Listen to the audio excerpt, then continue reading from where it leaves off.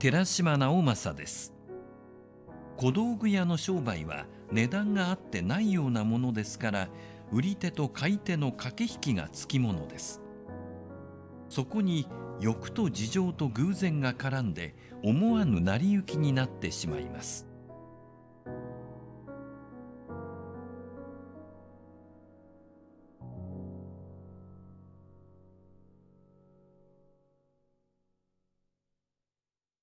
半七取物町。面。岡本喜道。ある冬の日私が老人を赤坂の家に訪ねると老人は日当たりのいい庭に向かって新聞を読んでいた。その新聞には書画を種の大語りの記事が掲げてあって景品はもちろん関西九州方面に渡ってその被害高は数万円に上ったと書いてあった。老人は探索しながら言った。だんだん世の中が進むにつれて万事が大仕掛けになりますね。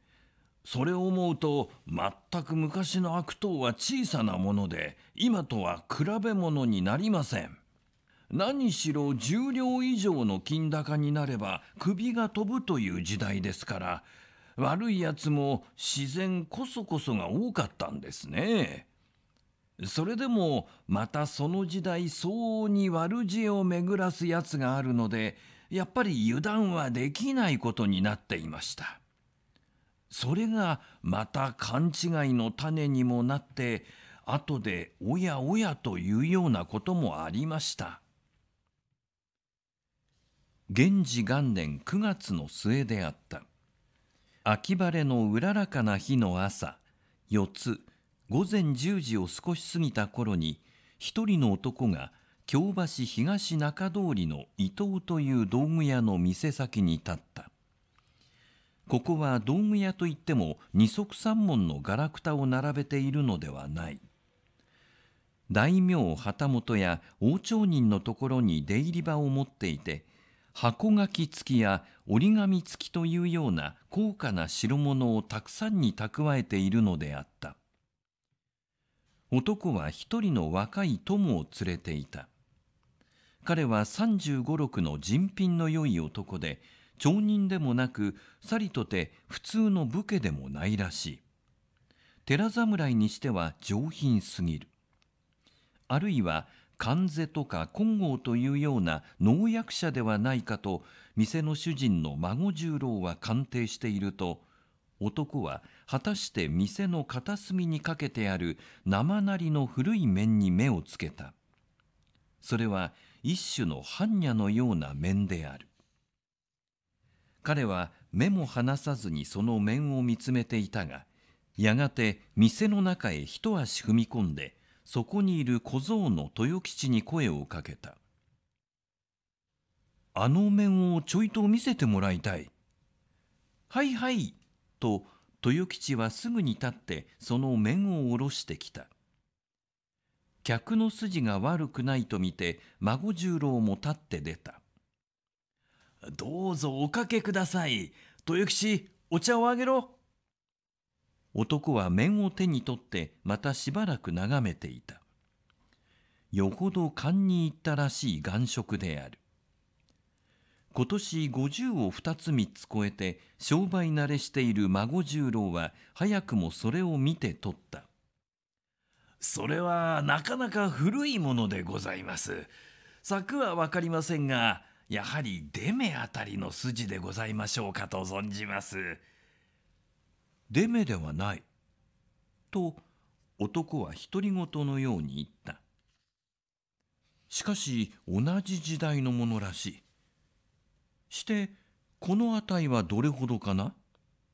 どうもちっとお高いのでございますがおかけ引きのないところが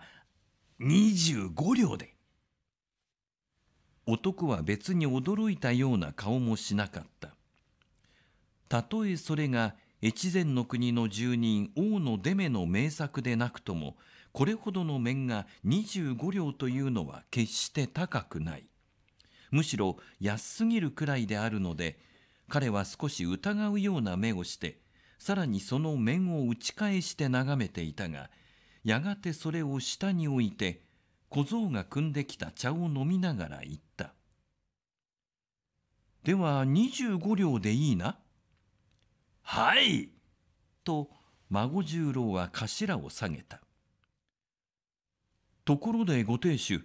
私は通りがかりでそれだけの金を持っていないから手付けに三両の金を置いていく。どうだろうな。それは珍しいことではないので孫十郎はすぐに承知した。約束が決まって男は三両の金を渡したので孫十郎は借受取りを書いて渡した。帰る時に男は念を押していった。それでは明日の今時分に来る。言うまでもないことだが余人に売ってくれるなよ。売り買いの約束ができてすでに手付の金を受け取った以上もちろん他に売ろうはずはないので孫十郎はその客の後ろ姿を見送るとすぐに豊吉に言いつけてその面を取り外させたそれから一時余りを過ぎて孫十郎が奥で昼飯を食っていると小僧が店から入ってきた旦那に会いたいと言って立派なお武家が見えました。どなただ？初めてのお方のようでございます。店へおあげ申してお茶をあげておけ。早々に飯を食ってしまって孫十郎は店へ出て行くと今度の客は羽織袴大将のこしらえで二十二三の立派な武士であった。彼は店へ上がって客火鉢の前に座っていた。私が亭主の孫十郎でございます。お待たせ申しました。挨拶の済むのを待ちかねたように武士は店の隅へ目をやりながら聞いた早速だが昨日まであそこにかかっていた生なりの目あれはどうしたな？あれは今朝ほどお約束ができました。武士の眼色はにわかに陰った。ああ、それは残念。してその買い手はどこの何という人だ？孫十郎から詳しい話を聞かされて若い武士はいよいよ眼色を暗くした。彼はひどく困ったようにしばらく考えていたがやがて小声で言い出した近頃無理な相談ではあるがどうであろう。その買い手の方を何とか破談にしてくれるわけにはいくまいか。そうでございますな。あと孫十郎も当惑の額をなでた。何分にももう手金まで頂戴しておりますのでそれは分かっている。当方の無理もバンバン承知しているがそこを何とか取り計らってはくれまいか。いくら相手が侍でも無理はどこまでも無理に相違ないので孫十郎も容易に承知しかねていつまでも渋っていると武士はさらに声を潜めて言い出した。自分がこういう無理を頼むのはまことによんどころない事情がある。屋敷の名は明らかに言うわけにはいかないが自分は西国のある範疇に勤めているものであの生なりの面は主人の屋敷で当夏虫干しの握りに紛失したものである。それを表向きに詮議することのできないというのはその面は屋敷のご先祖が権現様から直々に拝領の品でそれを迂闊に紛失させたなどとあっては講義への聞こえもよろしくない。そういうわけで屋敷の方でも多分をはばかってあくまでも秘密に詮索しているのである。それを自分が昨日図らずもここの店で見つけた。見つけてすぐに掛け合えばよかったのであるが他に用向きを抱えていたのでそのままに見過ごしてしまった。それが自分の重々不覚で今更後悔のほかはない夕べは遅く帰ったので今朝改めて重役方にそのことを申し立てると自分はひどく叱られた大切なお品を発見した以上何事を差し置いてもそれを取り戻す工夫をしなければならないのにうかうか見過ごしてしまうとはあまりの手抜かりである。寸前尺馬の例えで万一昨日のうちに他人の手に渡ってしまったらどうするか。持ち合わせの金がなければ相当の手付けを置いてくるか。晩やむを得なければ屋敷の名を明かしても店の者に持たせてくるか何とか臨機の処置を取るべきはずであるのにそのままに見過ごすとは何事であるかと自分は重役方から散々に叱られた。そう言われると全く一言もない。それでも昨日の今日である。ことに世の品とも違ってめったに売れそうもないものであるからおそらく無事であることと高をくくってただいま重ねてきてみると間の悪い時は悪いものでその面は一足違いで人に買われてしまった。さてこうなるとどうしていいかわからない。今さらはがみをしても地団打を踏んでも取り返しのつかないことになった。手前が重々の部長法その申し訳には腹を切るより他はござらぬ。と武士は青ざめた額に太いしわを織り込ませてうなるようにため息をついた。孫十郎もいよいよ当惑した。理屈を言えばもちろんこの若侍の無念に相違ない。重役たちの言う通りそれほど大切な戦意の宝を見つけたならば何を置いても買い戻しの手立てを巡らすべきであった。それを怠って今更悔やむのは不覚である。しかしその不覚は不覚としてこの侍の身になって考えると全く途方に暮れることであろう。申し訳の切腹もあるいは是非ないかもしれない。まさかにこの店先を借用するとも言うまいが追い先の長い侍一人が腹を切るというのをただ眺めているわけにもいかない。どうも困ったことが起こったと思うと同時に一種の商売義が彼の胸に浮かんだ。そういう司祭を伺いまするとまことにお気の毒に存じられますが功徳も申す通りもはや先約がござりますので手金まで頂戴いたしておきながら今更破談と申すのは商売冥利甚だ難儀でござりますがともかくも明日先様がおいでになりましたら一応はご相談いたしてみましょうか。そうしてくれれば何よりだが。と武士はすがるように言った。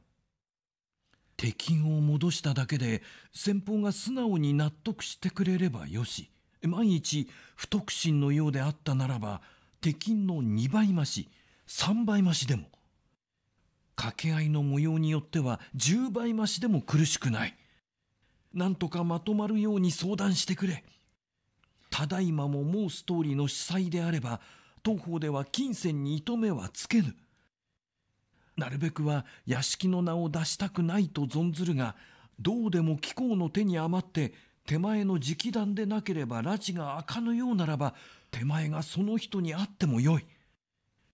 いずれにしても何分一つ働いてもらいたい。かしこまりました。せいぜい働いてみましょう。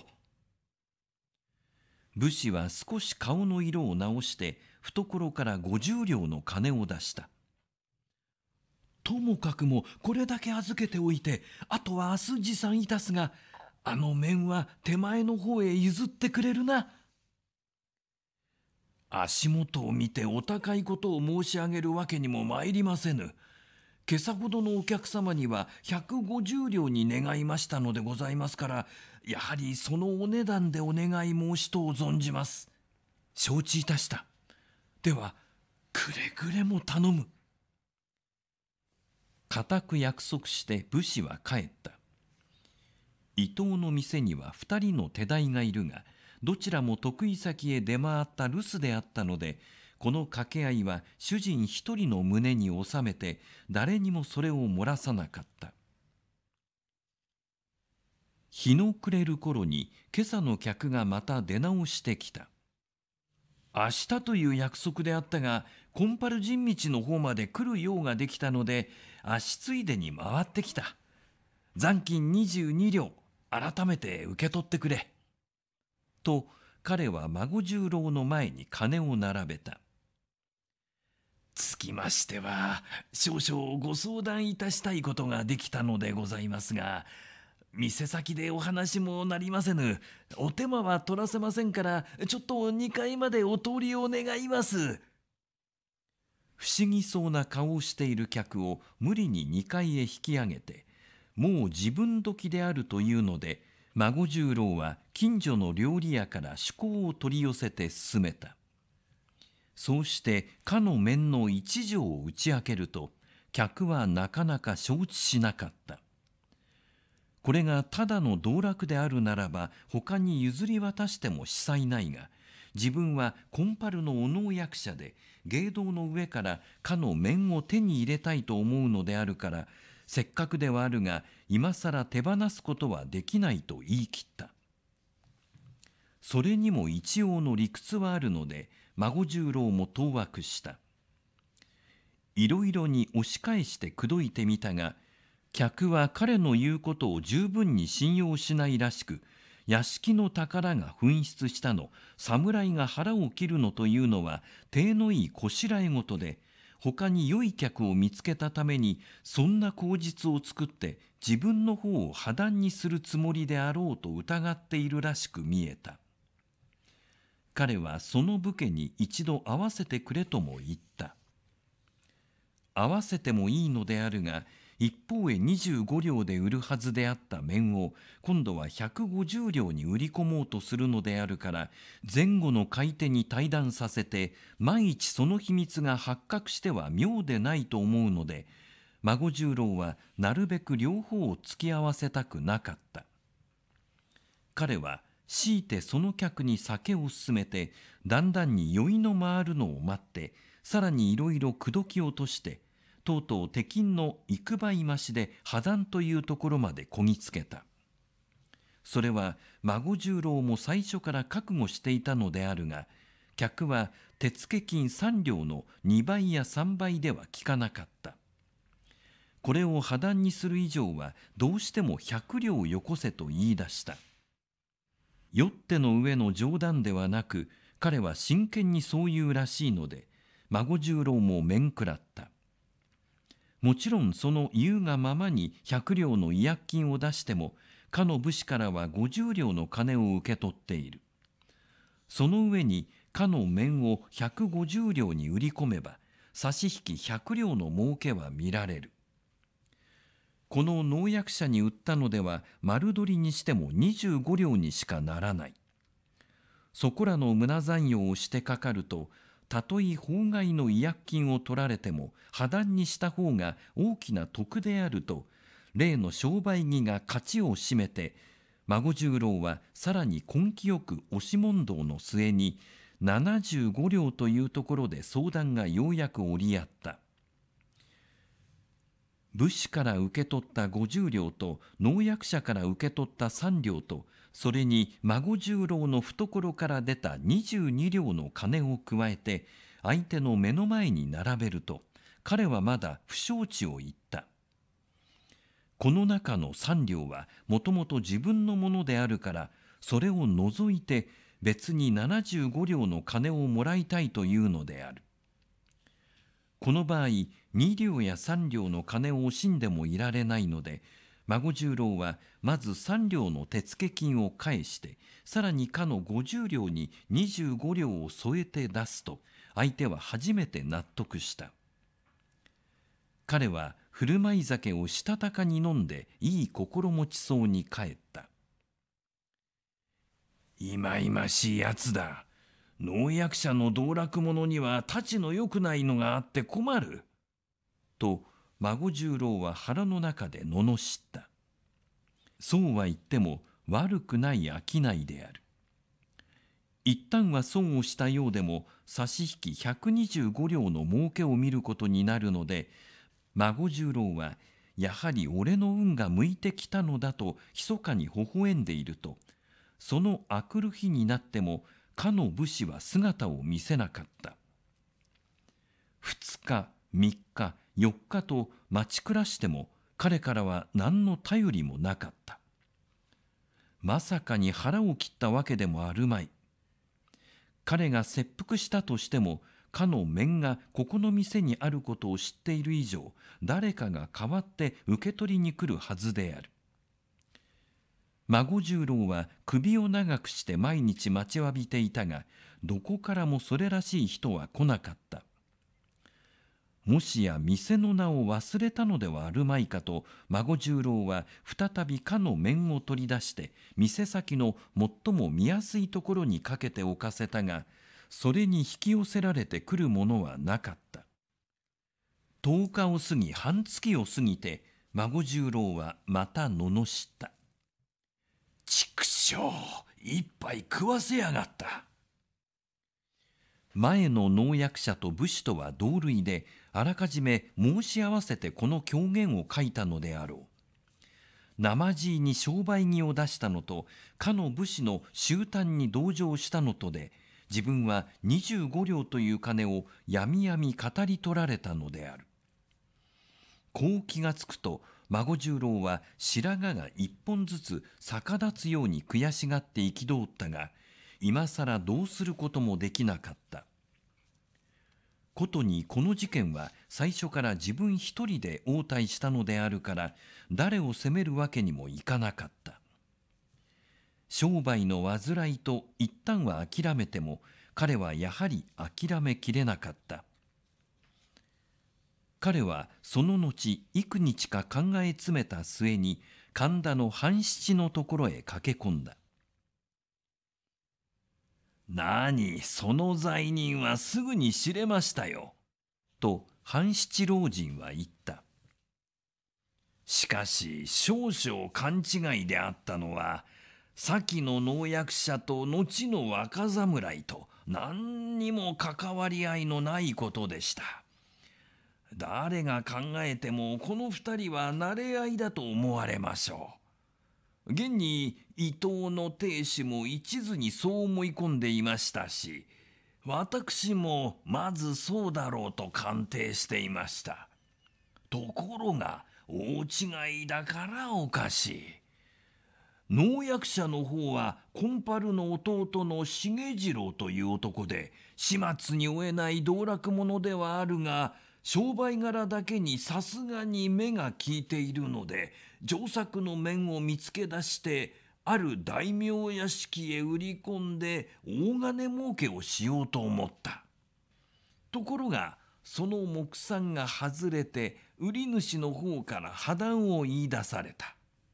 その事情を聞いてみるとどうしても嫌だとも言えない。さりとてせっかくの金儲けを水にしてしまうのも悔しい。そこで伊藤の亭主の足元へつけ込んで百両よこせなどと大きくふっかけてとうとう75両を巻き上げていったというわけで別にゆすりとか語りとかいう悪名を着せることもできないのです。それから一方の侍は何者かというとこれも偽名ではなく全く西国の範疇の根井朝五郎という人で正直に面を探しに来たのです。しかし前にも言った通り年の若い手抜かりから重役たちにまず叱られそれからすぐに出てくると面はもう人手に渡っているという始末。ともかくも一方の破談を頼んでおいて屋敷へ帰って報告をするとそれだから言わぬことかお手前重々の無念であると言って重役たちからまたもや手ひどく叱られたので朝五郎もいよいよ恐縮してしまったのです。そこでその翌日150両の金を受け取って屋敷から伊藤の店へ行く途中でそこが若い人間ふっと気が変わった。というのはたとえその面を無事に取り戻してきたとしても一度ならず二度までも重役たちに厳しく叱られている以上何かの咎めを受けるかもしれない。あるいは国詰めを言いつけられて藩地へ追い返されるかもしれない。そんなわけで藩地へ帰れば親類に面目ない。友達には笑われる。いっそこの150両を持って蓄点してしまった方がましかもしれないと途中でいろいろ考えた挙句にとうとう伊東へも行かずもちろん屋敷へも帰らずそのまま姿を隠してしまったのです。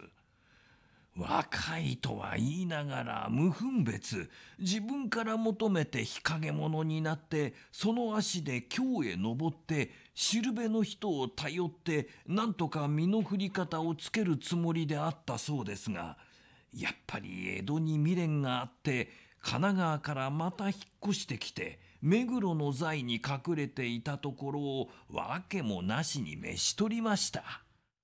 どうしてその目黒に忍んでいることが知れたんです？と私は聞いた。何しろ若い人間ですしいくらかやけが手伝ったんでしょう。目黒から毎晩のように品川へ遊びに行って金遣いの荒っぽいところから足がつきました。屋敷物なんぞがちっと洗い銭を使えばすぐに目をつけられますよ。それにしてもまだわからないのは彼が築天の後その屋敷ではなぜかの面の戦議をそのままにしておいたのか。なぜ代理のものを出して伊藤の店から買い戻さなかったのか。それについて老人はこう説明した。それがおかしいんです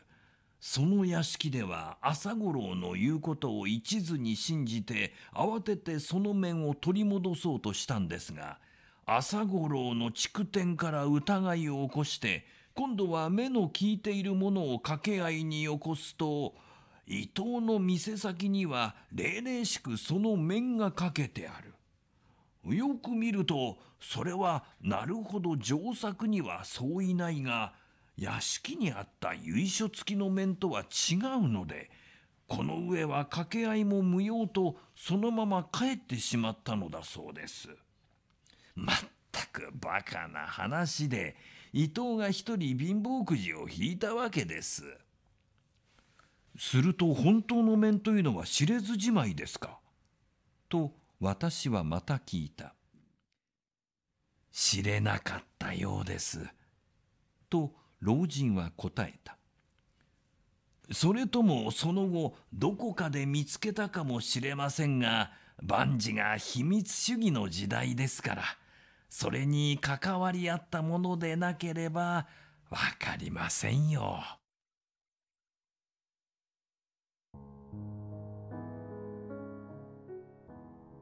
岡本喜道半七取物帳面朗読は寺島直政でした。